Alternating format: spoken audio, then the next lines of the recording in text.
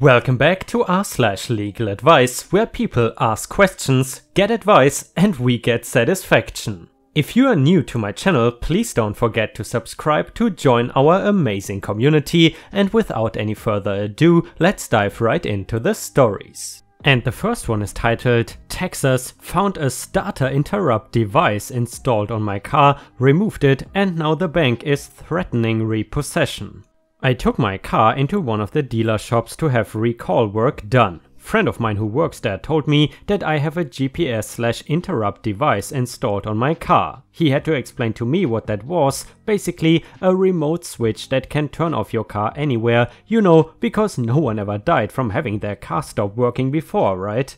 So I called my bank and asked them about this, even gave them the serial number for the device. They told me that they do not install those devices on cars and it must be from the previous owner. My car is used obviously. So me and a friend removed it today and not even 3 hours later I received a call from the bank. They told me that device is the property of their bank and must remain installed for the duration of the loan. I told them what was said in the last conversation with the bank and he tells me that the person I talked to did not know what they were talking about. Now they are threatening to repo the car even though there are only 4 payments left. Can they actually repo the car for this? My payments are not late and my car has 4 payments left and I am getting my tax check soon, so I just want to pay it off, but I am worried about them repossessing it anyways. Also check the lease agreement and it has nothing there about the device and its requirement for the loan. And a user in the comments suggested, check your paperwork on your car loan, it probably states that it has to be installed. Also, as I understand, they don't just stop the car in the middle of the road, once it is turned on it just prevents it from starting again. And you know guys, at the moment I am watching a lot of the Dave Ramsey show highlights on YouTube and I gotta say for some reason that show is very strangely addictive. You know, to me it is just super interesting to hear about people making around $20,000 a year but then having a car loan for around $600 a month. I can definitely highly recommend that channel and I am curious, did you ever take out a car loan? And if so, do you regret it? Let us know in the comments. Texas update starter interrupt device found on my car. So I found some things out. The financial department for my bank, Wells Fargo, is closed on weekends. However, I was able to call back the number that called me complaining about my removal of the device. This company is open on the weekends, they are a sort of collections company that is authorized by my first bank to collect payments and repossess the car. Apparently this has been one giant misunderstanding that could have some consequences for the company involved. A year after I got my car, I refinanced it, it took some time to track down, but according to the original loan contract it required the device on the car.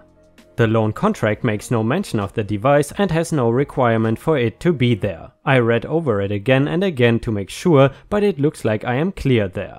The original lender was a seedy Walmart type bank, they only operate in the Metroplex and are very much into predatory lending. I had to dump this bank after they would repeatedly refuse to refund overdraft charges on things that were double charged and immediately refunded. For example, I would pay a bill, it would show in my bank records as being paid twice, but one instance immediately refunded. They would try to slap a $25 overdraft on that, unless I specifically complained. They were kind of well known for doing this and have many complaints with the BBB for these practices. So that gives you an idea of the people I was working with. Once my credit was much better, thanks to some smart decisions on my part, I got with Wells Fargo. The company that does the GPS monitoring and repossessing was not informed by that bank that the car was refinanced. While on the phone with them, I was able to determine that they have comprehensive logs of where I go, they have been tracking my every movement for the last 4 years. They keep logs so that if the device is ever removed, their repo men have a list of my top visited places so they can snatch the car. Even if I were still under the original loan contract, would this type of monitoring be legal? They still have repo men out looking for my car, it is locked up and at my work they require a badge to get on the parking lot. Also, my work does not let repo men on the lot unless they are accompanied by law enforcement with a lawful order. Which, by the way, never happens. So the car is safe for now. I drive another car when I want to run errands, so I am covered on that front. The company that is trying to repo my car refuses to listen to me until I show them the new loan agreement. But they don't have any offices open on the weekend and it looks like I'm going to have to take a day off of work or at least a late start to handle this. So the question is this, is this kind of monitoring they have been doing legal? They have every single stop my car has made for more than 10 minutes in the last 4 years recorded in their logs. This is a massive invasion of privacy. And a user in the comments said, OP, there is a lot of very bad advice here. Call a consumer attorney in your state. You may have an action available against a sleazy bank, depending on the facts. Source, I am a consumer attorney in a different state. Also, you should check the National Association of Consumer Advocates at naca.net.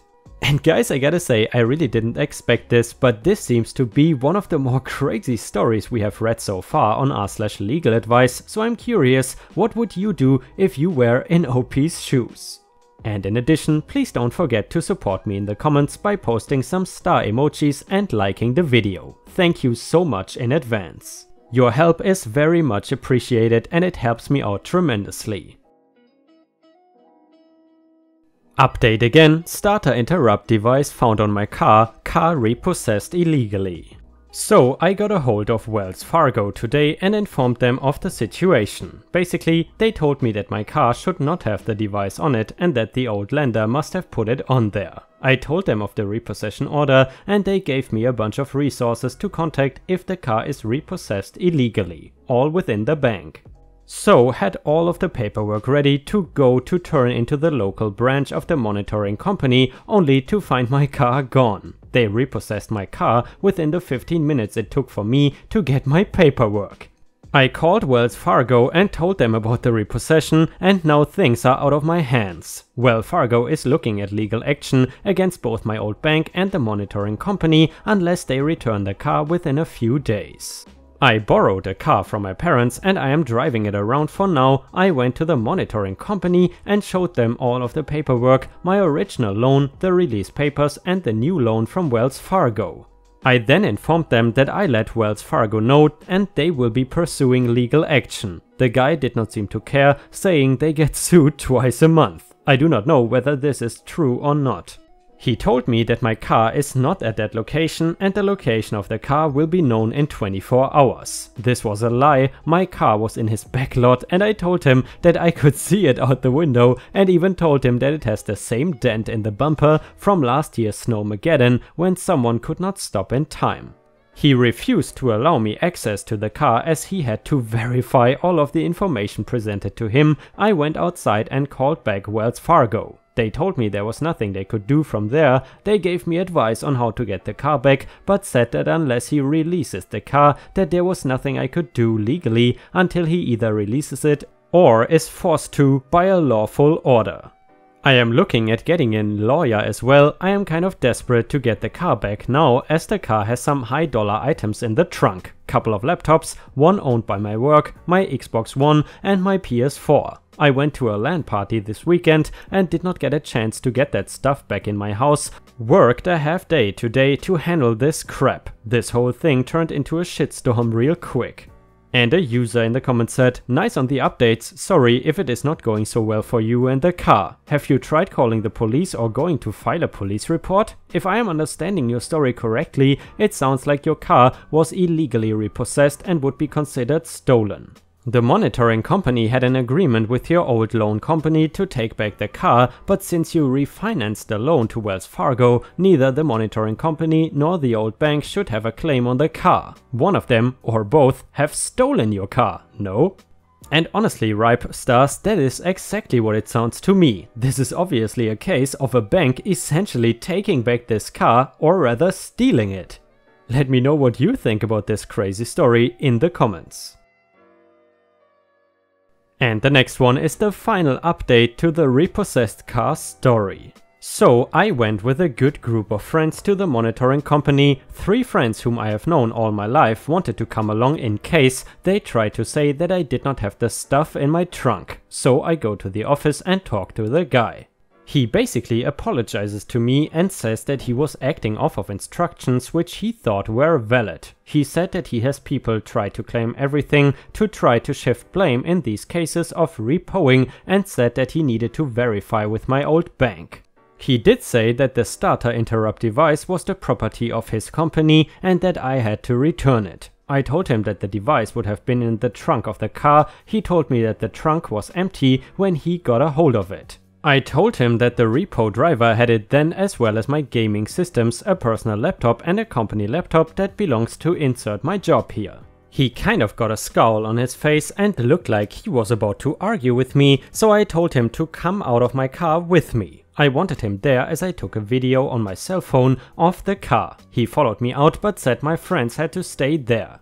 We get out to the car and I find that all of my stuff in the trunk is gone. My cell phone charging cable is gone and my aux connector is gone. Don't really give a damn about the micro USB cable and aux stereo cable as I have a ton of those, but we argue over the electronics in the back. Finally, he has enough and tells me I need to leave. I have to sign some papers and pay a fee. I drove my car around the front to their front door and came back inside. I signed the papers he needed signed, but refused to pay the fee, saying they had my electronics as payment. My friends had left by that point and their cars were gone. So I get home to find all of my friends there and my stuff there. They heard me arguing with the guy about my stuff and decided to look around his office. He was the only one working in the office at that time as the two other ladies were out at lunch when this happened. They found a storeroom with several high dollar items inside, some guns locked in a case, Xbox 360s, TVs, power tools, lots of power tools and found my Xbox One and PS4 on the table in the room. My two laptops were locked in a case, however, the guy had the keys to the case on a pegboard in his office. Their story they gave to me was that one of them walked back behind the camera towards the back door, he reached up and unplugged the camera while the other two searched. They found the storeroom with all of this stuff and were able to find both laptops easily. My laptop has a decal of Sons of Anarchy on the back and the company laptop has one of those property of X company if found call X number stickers. The PS4 and Xbox had stickers on them from the LAN party, in the past we got confused on whose machine was whose and had to hook them all up to check the accounts. Now we simply put a small sticker and write our initials on it. I told them this was an extremely stupid thing they did, but was happy to have almost all of my stuff back. Still missing a cell phone charger and aux cable, but thanks to what they did without my knowledge, I really do not have a choice in the matter anymore. I cannot really go to the police now, can I? The Xbox and PS4 are very easily proven to be mine by simply checking the accounts and dates on the machines. The laptops are even easier to prove, so if anything happens from this, I do not see myself getting in major trouble. I have informed Wells Fargo that I have the car back, they told me to make sure there's no damage and that another device was not installed. No new device installed, they would not tell me if they were going to pursue legal action or not, so I do not know what's going to happen there. And a user in the comments said, ideally your friends would have photographed your possessions in the monitoring company's office and left them there. That would have enabled you to take some further action against the company, calling the police and reporting the stolen property. Because they simply took back the property, things get murky legally very quickly. Were they ethically in the clear to take the possessions? Probably. Was that legally the right course of action to take? Probably not. It would be ideal in this situation for the monitoring company to face some repercussions for what happened, but that does not seem likely at this point. Gynecologist took pictures of my junk and is being prosecuted. Throwaway, to make a relatively long story short, my former gynecologist is facing a host of charges in a number of separate cases for being a very bad human being. It also now came to light that he secretly took photos of me and many other women during our exams and saved them for his own disgusting personal use. I am one of the only women who could be positively identified due to some very unique identifying features on and around my cooter. Thanks, Vag.